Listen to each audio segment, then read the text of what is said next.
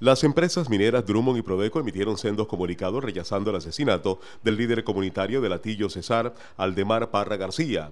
El homicidio de Parra García ocurrió el pasado 7 de enero en cercanías a Latillo, en jurisdicción del Paso Cesar. Drummond Limitada rechaza categóricamente los sellos registrados en el Paso Cesar en los que fue asesinado el empleado de CNR y presidente de la Asociación Apícola de Latillo, Aldemar Parra García, y expresa su solidaridad con la familia, dice el comunicado de Drummond Colombia. La multinacional indicó que condena lo sucedido y solicita a las autoridades competentes que investiguen a fondo y encuentren los responsables del homicidio. Por su parte, Prodeco indicó en el comunicado que condena este asesinato, el cual ocurrió cerca de la población de Latillo en el municipio del Paso, departamento del Cesar.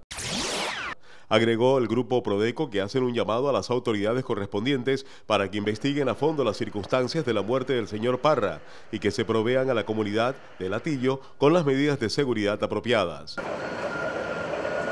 Las dos empresas enviaron sus condolencias a la familia de Aldemar Parra García y reiteraron el pedido a las autoridades para que garanticen la seguridad a la población.